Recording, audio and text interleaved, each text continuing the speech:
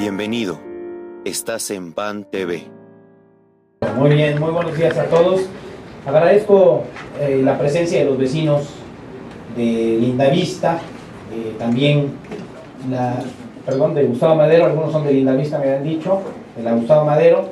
Eh, también agradezco la presencia del secretario general del PAN en el Distrito Federal, Rafael Calderón, así como del diputado Héctor Saúl Telles, presidente de la Comisión de Hacienda de la Asamblea Legislativa del Distrito Federal, y de la diputada eh, Priscila Vera. A todos nos preocupa que en esta ciudad se escuchan historias de día con día sobre casos de corrupción, eh, uso indebido de atribuciones, desvío de recursos. Y en esta ocasión, algunos funcionarios del gobierno de la ciudad, de la Secretaría de Finanzas, eh, incurrieron nuevamente en un acto de agravio a la ciudad. De un funcionario de la Secretaría de Finanzas con un vecino agraviado y afectado por los pagos de predial, en donde se le solicita al, al, vecino el pago de cierta cantidad para modificar los datos de la boleta predial a fin de que ese vecino pague menos. Anunciamos el día de hoy que a fin de dar seguimiento a esta investigación, los diputados aquí presentes, la diputada Priscila Vela, su servidor, junto con el presidente de nuestro partido, estaremos denunciando de manera puntual y formal mediante una denuncia administrativa, es decir, ante la Contraloría General del DF, la denuncia administrativa correspondiente para que se les dinden las responsabilidades. Y dos, vamos a establecer la denuncia de carácter penal ante la Procuraduría General de Justicia del DF. Queremos eh, una explicación puntual, por eso el próximo miércoles vamos a estar citando a comparecer al tesorero y al secretario de Finanzas para saber esta red de corrupción a dónde llega.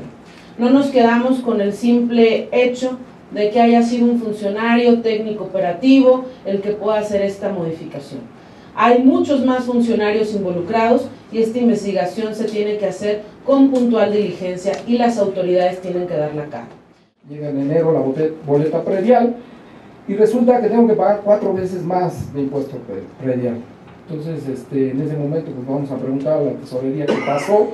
Resulta que nos reclasificaron de clase 3 a clase 5, sin más. O sea, nadie nos visitó, nadie nos való, nadie fue a preguntarnos ni a decirnos por qué.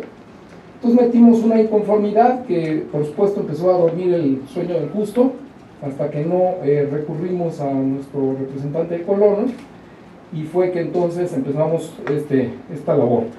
Eh, Habíamos dejado pagada una visita por parte de la Secretaría para revisar nuestra casa, para si efectivamente era clase 5 o clase 3.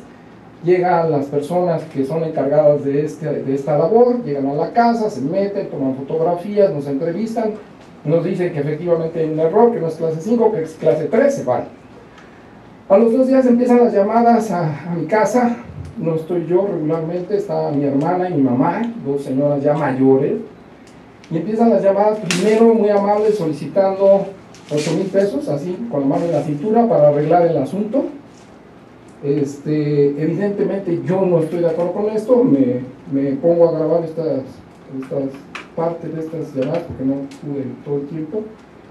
Y el hombre este, a medida que, que, van pasando los días, se pone más violento y en un momento dado inclusive me, me amenaza y me dice que si no le doy el dinero, no solo, no, no solo voy a hacer clase 3, sino voy a hacer clase 5 y voy a seguir pagando cosas que no debo. ¿no? Yo no, nosotros no pretendemos ni ser clase 3, ni ser clase 5, ni ser clase 4, que queremos ser la clase que nos toca y queremos pagar lo justo. Si a mí me dicen, tienes clase 5 por esto, por esto, por esto, por esto, yo pago clase 5, no hay ningún problema. Pero no se vale que al arbitrio de cualquiera que esté ahí este, se pague 3 o 5 o 4, dependiendo de cómo se moche uno con, con las personas. Eso es totalmente injusto e indignante. Entonces, este, sí tenemos miedo porque pues evidentemente estas personas saben dónde vivimos, quiénes viven y qué, cómo es la casa por dentro. ¿no? Es básicamente lo que quisiera transmitir y que nos apoyaran, nos ayudaran, no solo a mí, sino a todos los vecinos y a todas las personas que están en esta situación. Muchas gracias. Lo vamos a pedir también a los diputados del PRD en la Asamblea es que no sean tapaderas de esto. si efectivamente no forma parte de las líneas de acción del gobierno esta red de extorsión, esta red de corrupción, pues que estén dispuestos a que se siente el secretario de Finanzas en la Asamblea Legislativa y que dé cuenta. Quisiéramos también aprovechar la oportunidad para abrir un correo electrónico y abrir también los teléfonos del Comité Regional para recibir las denuncias sobre posibles casos de corrupción en este tema y poder presentar el correo electrónico que se llame paga lo justo